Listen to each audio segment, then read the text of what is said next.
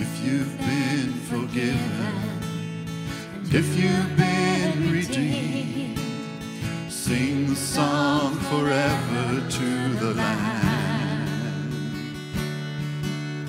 If you walk in freedom, if you bear his name, sing the song forever to the Lamb sing the song forever and amen. And the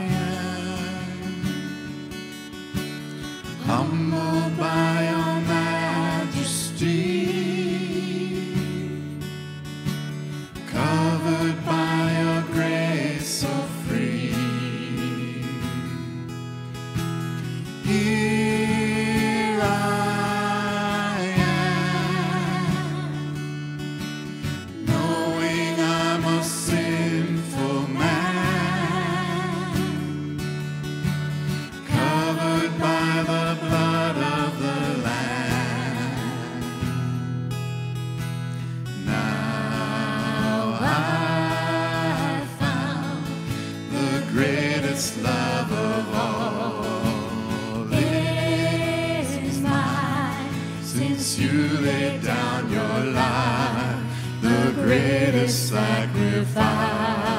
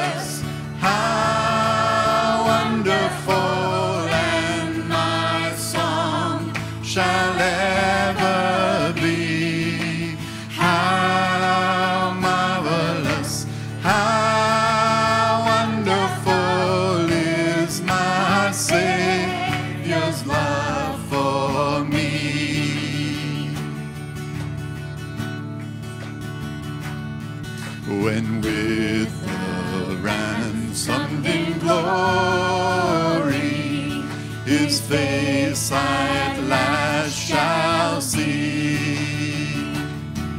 Twill be my joy through the ages to sing of his love for me. We're singing how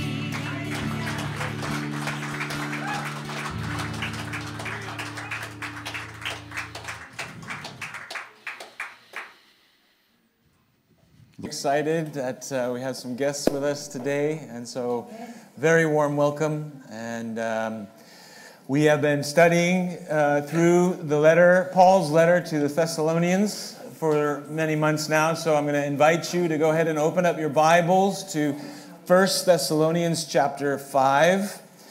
Um, 1 Thessalonians chapter 5, we're going to be in uh, verses 12 through 28. Now, I don't know if we're going to get through the whole passage or not this morning. There's a lot here, as you will see. Um, the last couple days have been, let's try that again. Uh, we're going to be looking at 1 Thessalonians chapter 5, verses 12 through the end of the chapter. And as I was saying, there's a lot here in front of us. So whether or not we actually get through it all today is uh, up to the Lord. God willing, we'll make a good go at it. Amen. Uh,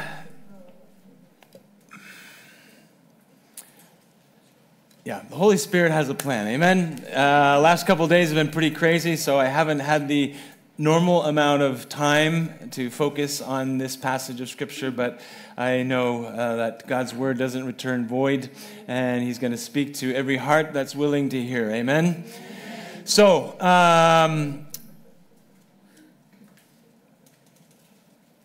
before uh, I move forward, I'm just going. Um, but in the meantime, let's go ahead and look at our passage this morning, 1 Thessalonians chapter 5. Let's stand. We're going to read the Word of God together, and then you can sit down for the duration of the service. 1 Thessalonians chapter 5, verse 12. The Apostle Paul, uh, writing to this small church in the city of Thessalonica uh, in the first century, but ultimately the Holy Spirit is speaking to you and I this morning. Amen. And so this applies as much to us as it did to them. So let's go ahead and read. 1 Thessalonians 5, beginning in verse 12, we read We urge you, brethren, to recognize those who labor among you and are over you in the Lord and, and admonish you, and to esteem them very highly in, the, in love for their work's sake. Be at peace among yourselves. Now we exhort you, brethren, warn those who are unruly, comfort the faint hearted, uphold the weak, be patient with all. See that no one renders evil for evil to anyone, but always pursue what is good both for yourselves and for all. Rejoice always, pray without ceasing. In everything, give thanks, for this is the will of God in Christ Jesus for you. Do not quench the Spirit. Do not despise prophecies. Test all things. Hold fast to what is good. Abstain from every form of evil. Now may the God of peace himself sanctify you completely, and may your whole spirit, soul, and body be preserved blameless at the coming of our Lord Jesus Christ. He who calls you is faithful, who will also who also will do it. Brethren, pray for us. Greet all the brethren with a holy kiss. I charge you by the Lord that this epistle be read to all the holy brethren. The grace of our Lord Jesus Christ be with you. Amen. Hallelujah. Father, we come before you this morning confessing our need for you. Lord, uh, that apart from you, we can do nothing of any real merit or worth. And so, Lord, we, we come as we sang this morning empty handed, but knowing it's your heart's desire to fill us this morning, to fill us with your spirit, to fill us with your truth, to fill us with the power and the faith to live out the Christian life in this dark world. So, Father, we pray, God, that you would find us this morning in that posture of obedience, that posture of submission. Lord, we need you to make the truths that we'll look at this morning a reality in our lives, Lord, that we would not be just hearers of your word, but doers also. Lord, we trust you to work this out in each of our lives as only you can. And we commit this time into your hands, praying that you would transform us, that you would conform us through your Spirit into the image of Christ, and that we would be able to testify to this world around us that you are alive, that you are risen in power, and that you are good. Father, we, we trust you for this. We ask it in Jesus' mighty name. Amen. Amen. Hallelujah. All right, have a seat. It occurs to me that uh, if, you're, if you're living in the West normally, uh, this Sunday might be considered uh, the triumphal entry Sunday. This is next Sunday is uh, Easter in, in the West. Uh, we're celebrating Easter in May since we're on the, we're here in Cyprus. We're, we're holding to the Orthodox calendar. The great thing is that, you know, Jesus never commanded us to celebrate Easter. he told us to keep communion, right? To remember his life and his death and his resurrection uh, whenever we come together and, and, take communion together. Easter is a, a, tradition of man, and so whether you celebrate it next Sunday or in a month and a half from now in May, it's all good, amen? As long as we're keeping him in our hearts and uh, walking it out in our lives, amen? All right, so uh, anyway, this, uh, this morning, as uh, we kind of are moving towards the end of this letter that Paul wrote to the Thessalonians so long ago, uh, again, there's, a, there's, there's so much here that we can uh, break down this morning. Uh, just in, as an introduction for those who are joining us for the first time, uh, we, we left last week off in uh, chapter 5, verse 11. And Paul was talking to the, the Christians in Thessalonica, uh, Thess- Thessalonica forgive me, uh, about the, the return of Christ. And the Thessalonians were concerned because, you know, some of their members of their church had, had died and they didn't really know where that fit into their theology. Uh, the first, the early church, you know, had this imminent expectation that Jesus would arrive momentarily. And so, about the time that you know Christians started passing away for, for different reasons, there was kind of this question mark that was being raised in the minds of the, the believers, and they were like, "Well, if Jesus hasn't come back yet, what's going to happen to those that have died in faith. And so we looked at that last week. And basically, we saw two separate times the Apostle Paul told the Thessalonians to encourage one another. And, and hallelujah, we're able to encourage one another with this same precious truths that uh, we looked at last week as well as today. Uh, Paul pointed out to the Thessalonians that uh, back in chapter 4, verse 15 through 18, we had our, our first reference to encouraging one another. He said, Therefore, this we say to you by the word of the Lord, that we who are alive and remain until the coming of the Lord shall be caught up together to meet the Lord in the air. And thus we shall always be with the Lord. Therefore, comfort one another with these words. So he basically explained that when Jesus returns, those who had died in the faith would be resurrected and would. Uh, would meet the Lord in the air, and that those who were alive and, and uh, remaining at the time of Christ's return would be transformed. They would be trans, uh, translated, if you will, caught up, uh, raptured off of the earth, and uh, join those uh, believers with Christ at his return. And he said, Comfort one another with these words. You know, regardless of whether they died before his return or were alive at his return, we were all ultimately going to end up in God's presence together. And that was a cause for great hope, for great confidence, uh, regardless of what the world may throw at us, regardless of you know, what uh, the weakness of our flesh may uh, produce, uh, the attacks of the enemy, regardless, we have this hope that we will be with Christ when he returns. Now, Paul uh, emphasizes or reiterates that encouragement. Uh, we saw this last week in chapter 5, verses 10 and 11, where we finished off last time. Paul, writing in uh, verses 10, uh, chapter 5, verse 10, he says, For God did not appoint us to wrath, but to obtain salvation through our Lord Jesus Christ, who died for us, that we should live together with him Therefore, comfort each other and edify one another, just as you also are doing. So, last week we talked a little bit about the day of the Lord. This, this day that the Bible refers to that is, is coming in the future, a day of judgment upon the earth. A God rejecting world will eventually have to uh, come to grips with the fact that he, sent his, he will send his son to set up his kingdom at last upon the earth. And, and for the believer, that day of judgment is not something that we are to fear. As Paul says here, God did not appoint us to wrath.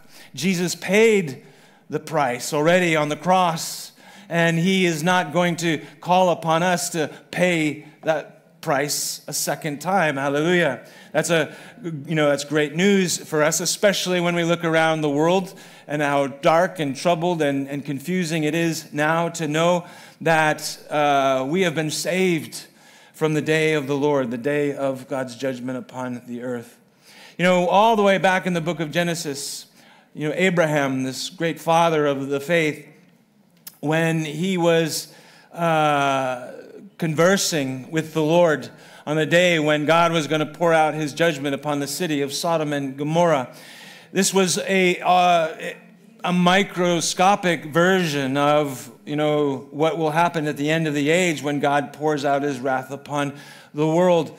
And Abraham argued, if you will, or, or reasoned with the Lord about the fate of this city, Sodom and Gomorrah. He said in Genesis 18 25, he says, Far be it from you to do such a thing as this, to slay the righteous with the wicked, so that the righteous should be as the wicked. Far be it from you. Shall not the judge of all the earth do right? Hallelujah. What, what was true for them then is all the more true for us today because we have been made righteous in Christ Jesus through our faith in Him and through the finished work of the cross, we know that Jesus has already taken the wrath of God upon himself on our behalf. Hallelujah. And God will not require us to go through that wrath that we have already, you know, has already been paid for through Christ Jesus. We are the body, you know, the Bible says that the, the church, we, you and I, as, as believers this morning, are the bride of Christ. We're the bride of Christ. We are not his enemy. And you'll, you, we noticed this last week. We didn't really bring it out necessarily in the context of the passage, but if you go back and you read chapter 5, verses 1 through 11, you will see that Paul emphasizes the fact, you know, he talks about they, those people that will come under the judgment of God at the end of the age versus us who are, you know, uh, alive in Christ, who are believers. He makes a very clear distinction between us and them, if you will. And it's not that God, it's not that Paul, you know, had it out for the sinful world any more than God does. We, we looked at that last week. God does not delight in the death of the wicked. He doesn't delight in the death of the wicked, rather, that we would repent and live. Amen?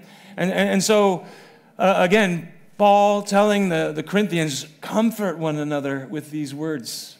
As, as dark and difficult as the times are that we are living in, uh, we have a hope, a steadfast hope in Christ Jesus the Lord.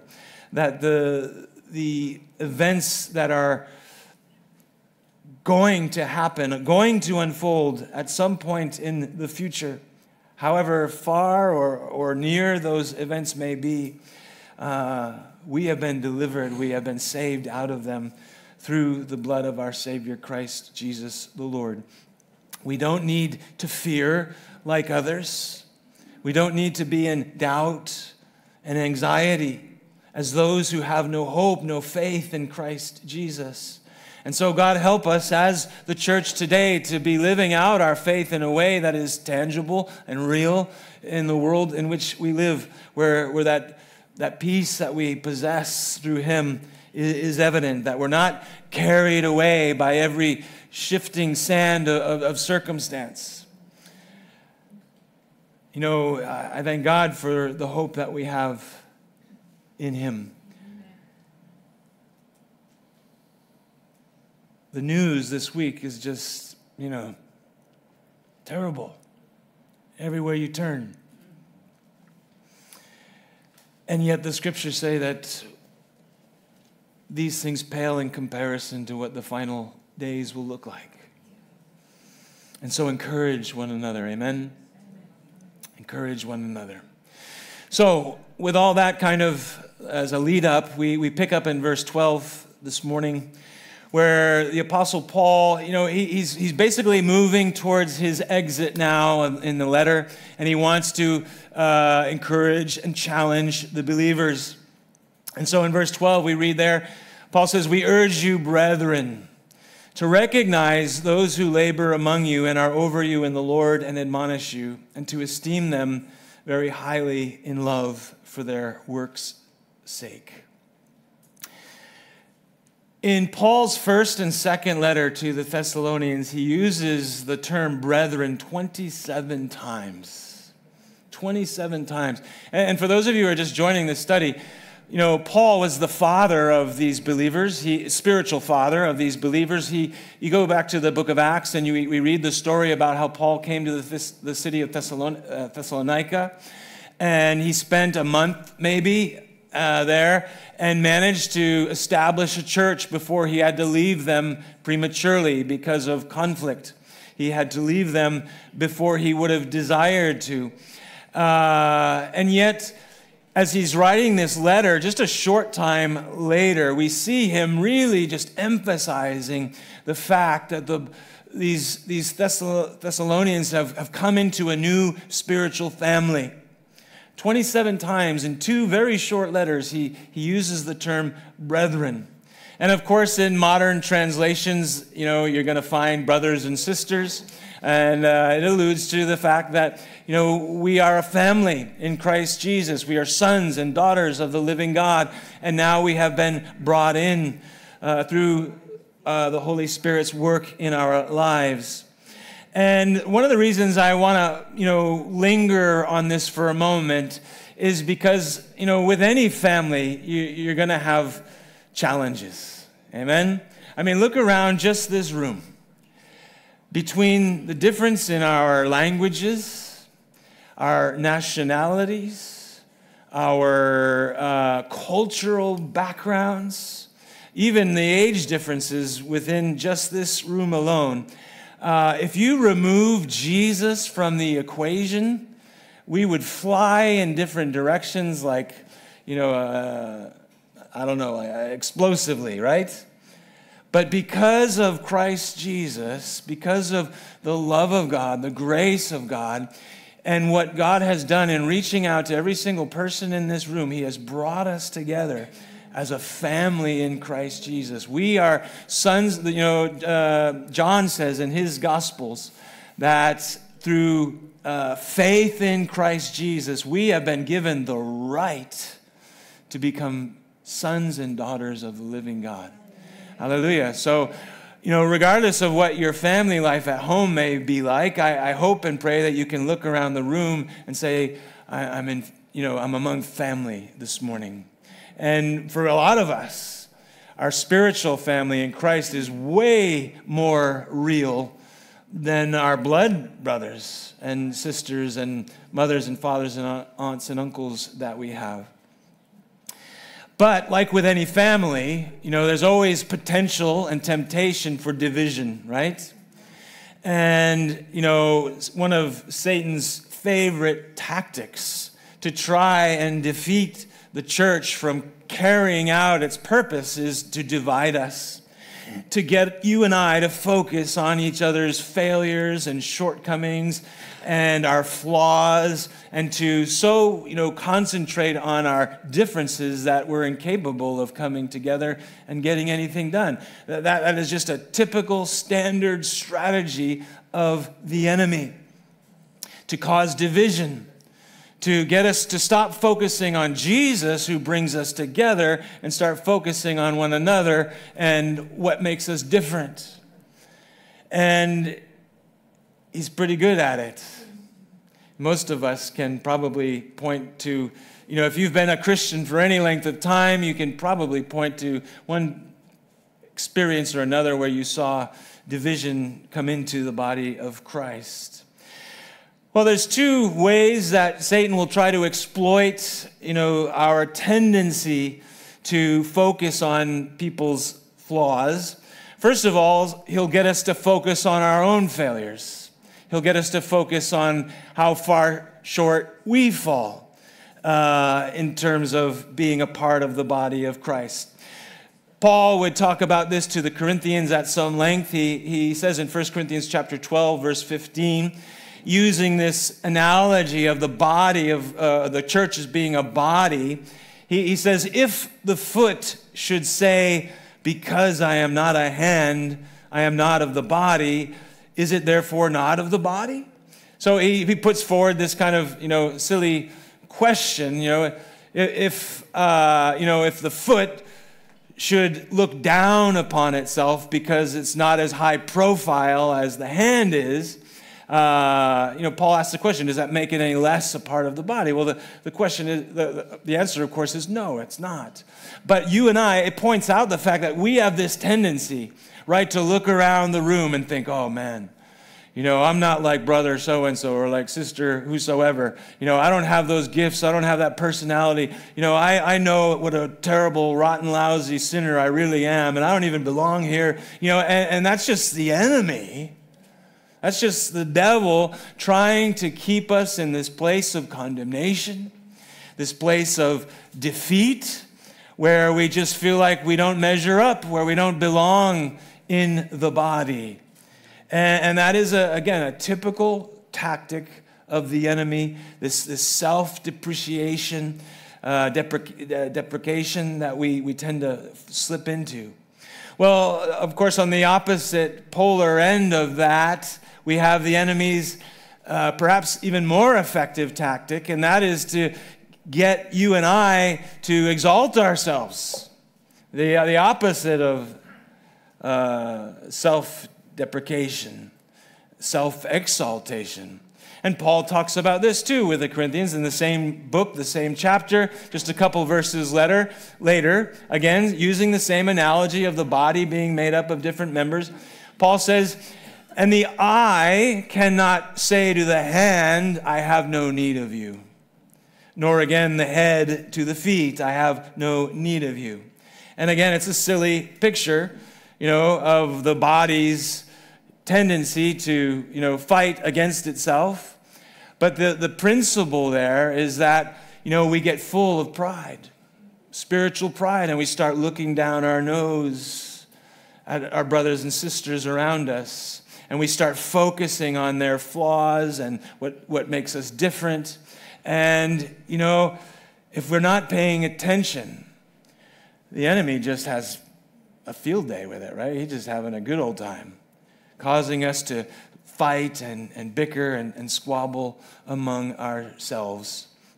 You know, one of the strongest letters that we have in the New Testament in terms of correction is uh, Paul's letter to the Galatian church. And this was a, this was a church that was, go, was, uh, was really being uh, faced with a huge temptation to, to really walk away from Christ into a legalistic lifestyle. And Paul uses some pretty harsh language to try and get the Galatians' attention. He calls them fools, he calls them bewitched, he calls, you know, he, he doesn't pull any punches, and yet 13 times in the letter of Galatians, he calls them brethren.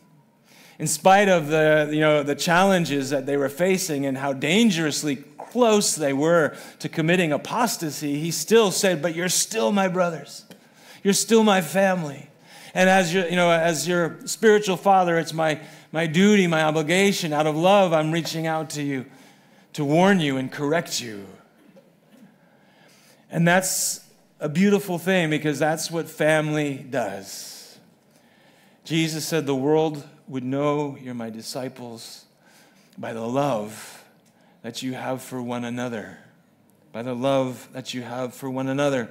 And when we talk about that love, it's not just that soft, you know, fuzzy, feel good kind of love that we all enjoy and appreciate, amen?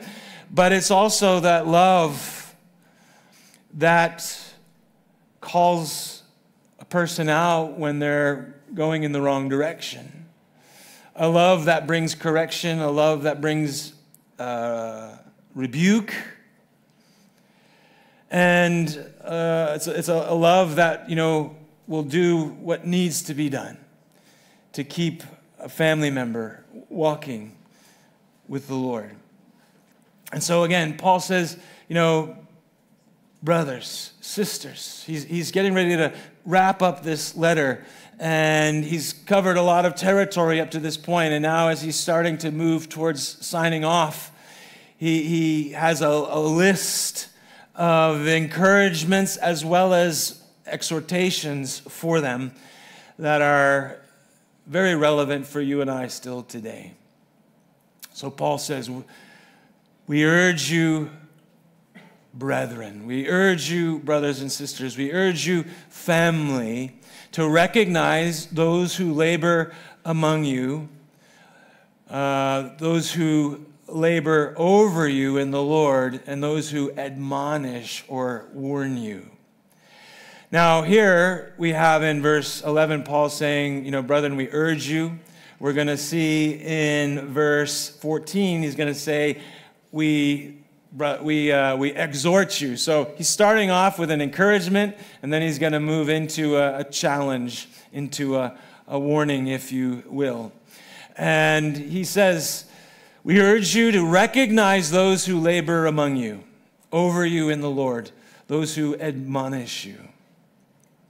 So, in spite of the age of this group of believers in Thessalonica, Clearly, they had leaders in place, and Paul encourages the church to recognize them, to remember them, uh, those who are laboring, working among them, those who are over them in terms of authority, those who are admonishing and encouraging and, and, and, and challenging them. Uh, and so Paul's saying, listen, you know, for those who are laboring among you, serving the Lord, shepherding you, caring for you, serving you. He says, I admonish you to, to recognize them. And I'm sure that Paul was not trying to create any sort of celebrity mentality of the leadership. God forbid. Jesus said, Those who want to be great in the kingdom of God must become the servants of all. And so, what, when you and I look around at the world today and we see all, all these kind of, you know, big time celebrity pastors and preachers and, and everything else, uh, we need to be careful. Because man was never meant to be put on a pedestal. It's a terrible temptation. It's a terrible temptation. And we've seen it, you know, just this week or in the last couple weeks. You know, the, the Orthodox Church here has been hit with terrible scandal. You know, men who have basically been held in, you know, this kind of untouchable sort of context for so long have suddenly turned out to be surprise, surprise sinners. In spite of the robes, in spite of the, you know, the magnificent buildings and all of the rituals and, and everything else, scandal. And people, you know, who have been holding them in this state of high regard, are, their, their faith has been rocked, their confidence is in the Lord, no doubt, has been challenged. I mean, it's the whole island is talking about it, from what I understand. And so the leadership in church was never meant to have this sort of celebrity status that we see so often in the world today. Again, not to place uh, leaders on a, on a pedestal, but Paul is, you know, saying, listen, for those who are serving the Lord, those who are kind of on the, the front lines, if you will, recognize them. Let them know that you appreciate their service, their labor for the Lord. Esteem them very highly, he says, in love for their work's sake. Uh, and I love that. He emphasizes esteem them in love. Let them know how much you love them. And, and I thank God that we serve such a generous church. I have no doubts where everyone's hearts are in relationship to those who are serving in leadership here in this church. We are well loved, we are highly esteemed. And uh, we thank God for every single one of you. Uh, but we have enough guests to justify unpacking this because, you know, maybe you're going to go home and you realize, hey, you know what? I haven't been esteeming those who are laboring over us. And it's important, it's our God given responsibility to recognize those who have uh, stepped forward in faith responded to a calling upon their life to care for, to shepherd, to serve, to minister in whatever capacity that uh, we may be called to, to build up the body. You know, and it's interesting because Paul says, you know, highly esteem them. In other words, give them special attention. Why? Because the enemy is giving them special attention. Again, you know, the moment you step out in faith, in response to a calling upon your life, you discover you have this thing on your back. it's called a, a, target, a bullseye. And the enemy will zero in on you and he will do everything in his power to wear you down, discourage you, keep you in condemnation so that you won't be able to serve effectively. And so, uh, you know, I, I, believe the, you know, kind of the, what, what Paul's alluding to here is, is if the enemy's going to give that special attention to those who are serving in, in leadership, then the body of Christ needs to give them that special attention in love to make sure that they are feeling girded up, uplifted in prayer, and, you know, recognized. James writes in James chapter 3, verse 1. He says, My brethren, let not many of you become teachers, knowing that we shall receive a stricter judgment. Now, there's a lot of debate exactly about what this verse means. Uh, was James talking about stricter judgment of man? The stricter judgment of God? Stricter judgment of self? I tend to think it probably comprises all three. You know, the moment you get up and, and, and dare to, you know, suggest that you represent God on some level or another, uh, people, the enemy, again, uh, are, are going to scrutinize your life so much more than if you just kind of maybe play it safe, you know, uh, if, if you will. And so James here, you know, says that those who are in positions of, I mean, he's, he specific, specifically uh, emphasizes teachers, but I think the principle exists kind of across the board in terms of anyone who is in some sort of leadership capacity, that we will receive a, a stricter judgment. And the idea that I will be under a stricter judgment before God is a terrifying thought, if, if not for the grace of God. The only means by which I or anyone else could dare to stand.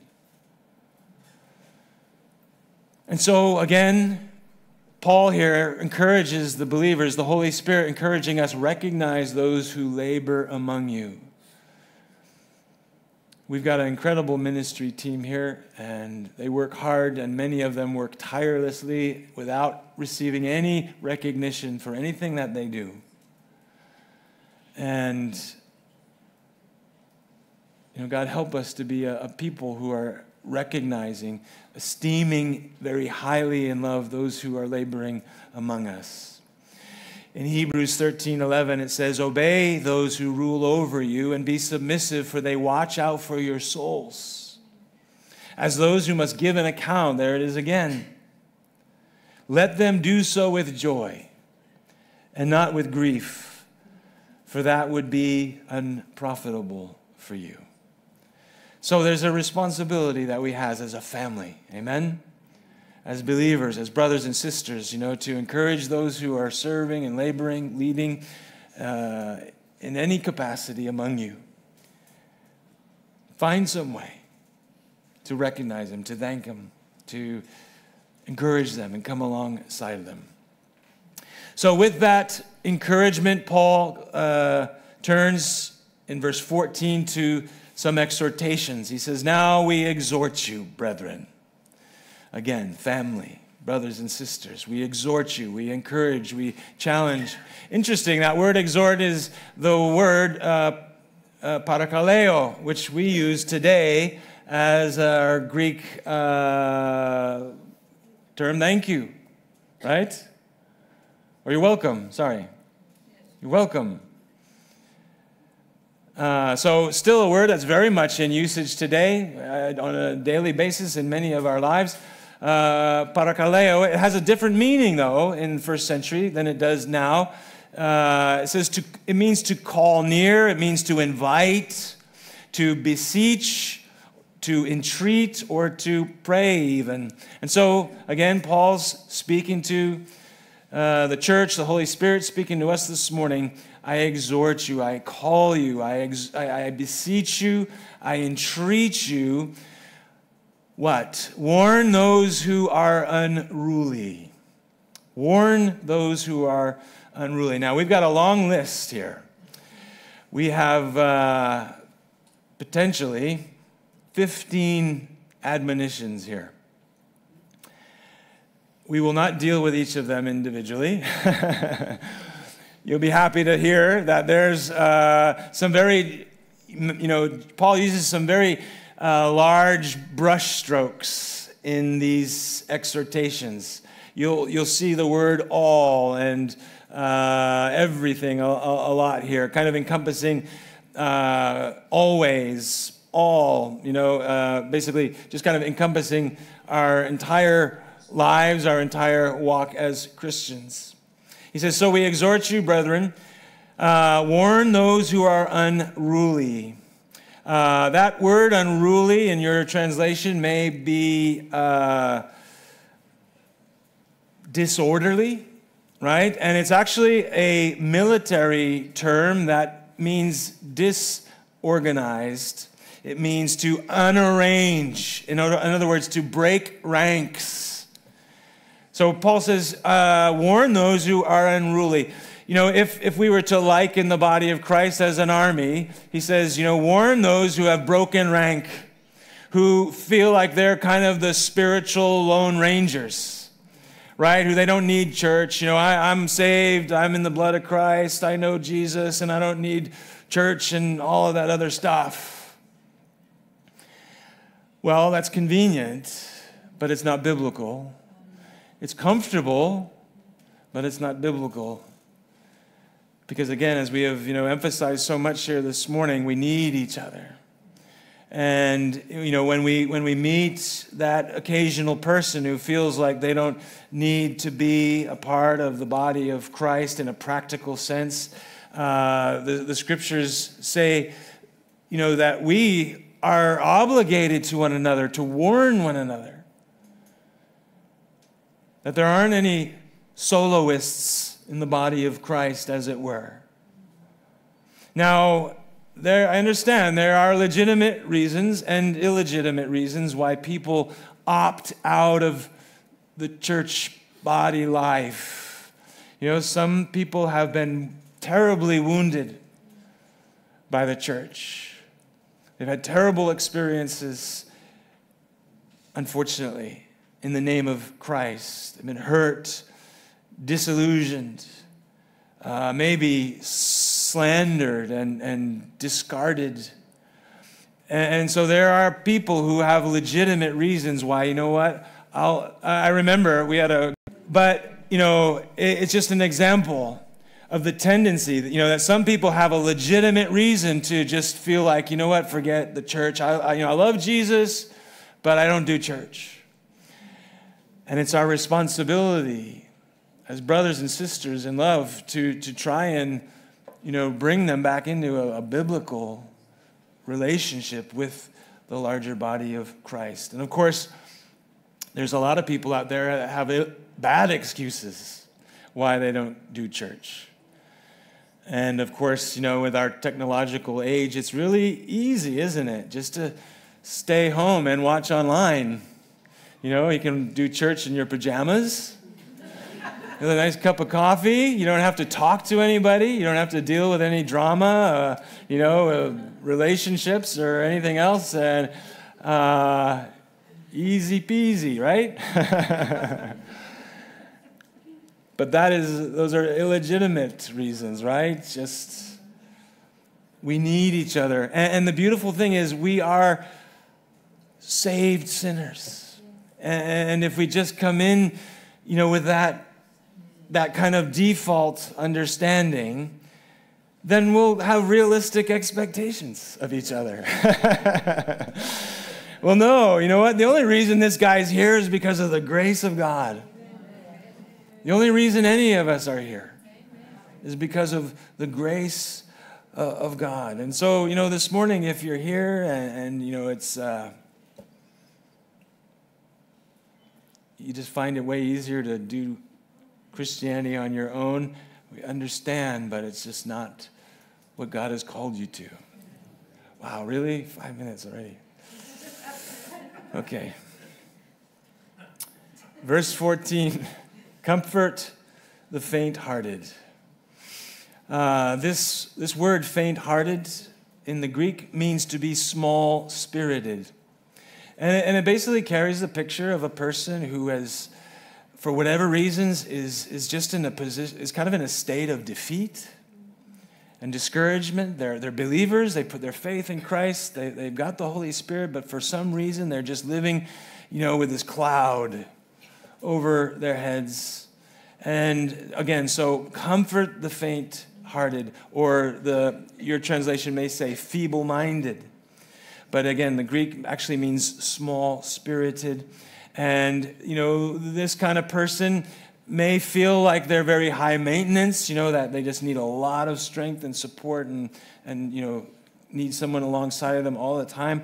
But you know what? Again, as the body of Christ, that's what we're called to, to strengthen, the, or comfort, forgive me, the, the faint hearted. Uphold the weak. Interesting this term, uphold the weak, he's not talking about physically weak. He's talking about spiritually weak. And the, the fascinating thing is that if you look at an overall kind of biblical idea of what Paul considered to be a spiritually weak person, he's talking about, quite likely, talking about someone who's just legalistic. That they're still relating to God in a very legalistic way. You know, it's about their relationship hinges upon their performance. You know, whether they're having a good day religiously. You know, what church you belong to, the way you dress, the way you carry yourself, you know, uh, your amount of time you give to Bible study and prayer and all these. You know, it's, it's about what you do instead of who you are. And the beautiful thing is that Paul, when he compares these two, in Romans 15:1, for example, he says, Then we who are strong are, ought to bear with the scruples of the weak and not to please ourselves. So we, you know, who are strong in the grace of God are to encourage those who are still kind of bound up in legalistic sort of, you know, relationship. Anyway, as much as I would love to break this down further, I think we're going to have to do a part two next week. Uh, let's just finish the list very quickly. Picking up in verse 14, he says, We exhort you, brethren, warn those who are unruly, comfort the faint hearted, uphold the weak, be patient with all. Now, this is where we start getting into these kind of broad brush strokes, where he starts making these really big asks. Uphold the weak, be patient with all. See that no one renders evil for evil to anyone, but always pursue what is good, both for yourselves and for all. There it is again rejoice always, pray without ceasing. Uh, in everything, give thanks, for this is the will of God in Christ Jesus. So again, Paul's just being, you know, very open armed about all of these Christian virtues. He says, whether it is rejoicing or prayer or giving thanks, whether it is pursuing good, whether, whether it is responding to evil, whether it's patience, he says, you know, big hearts, big arms. That's who we are. The body of Christ, alive and real and relevant in the world in which we live. Do not, uh, and by the way, he, he adds on there in verse 18 this is the will of God in Christ Jesus for you. This isn't an option, this isn't a maybe or possibly. This is the will of God. If you call yourself a follower of Jesus Christ, this is what our resume looks like. Amen? Do not quench the spirit. Do not despise prophecy. Test all things. Hold fast to what is good. Abstain from every form of evil. Your translation may say, abstain from the very appearance of evil. That's like next level scrutiny of how we are living out our lives, carrying out our behavior. Now may the God of peace himself sanctify you completely. And may your whole spirit, body, soul, and body be preserved blameless at the coming of our Lord Jesus. He who calls you is faithful, and he uh, who will also do it. Hallelujah. Just in case you're feeling overwhelmed by that whole list of requirements, or not requirements, but characteristics, really, of the Holy Spirit at work in our lives, you can just fall back and take a nice deep breath. He who calls you is faithful. And he will do it. If we allow him that space in our lives, he'll bring that to pass. Amen? Amen. All right, uh, I think we're going to come back to this passage one more time next week, uh, just to do it justice. We'll, we'll finish there. Father, we thank you for this morning. Lord, we thank you for the body of Christ. We thank you for our beautiful, colorful, crazy family. Lord, even as we look around just this small room and we, we, we see that we are just a tiny, percentage of what our family looks like around the world. We thank you, Lord, that you don't see our denominations. we are your sons and your daughters. We, we are the church, we are the body of Christ. We thank you, Lord, that beyond that, Lord, we have only your, your grace to celebrate. We will not, our hope in heaven is not based upon what church we belong to, what leaders we are under, but it's the blood of Christ. It's our Savior, our Messiah, our King. We belong to Him. We belong to you, Father. And we thank you that heaven won't know any of those things. We will be resurrected and reunited with you eternal, eternally in glory and perfection. Lord, until that day comes, God, help us to preserve the unity of the Spirit in our midst. Lord, help us to be the people that you've called us to be. Lord, help us to encourage and exhort and equip one another, Lord, to, to serve you and to fulfill your calling upon our lives. We give you praise, we give you glory. We thank you that it's all through the blood of your Son, Christ Jesus, and our faith in him. I pray this morning if there's anyone here who has never surrendered to you, Lord, that today would be the day of their salvation. Today would be the day, Lord, that they would cry out to you in faith, repent of their sins, receive you as Lord and Savior, and be adopted into your family forever. Lord, we trust you to work this out through your Spirit. We ask it in Jesus' name. Amen. You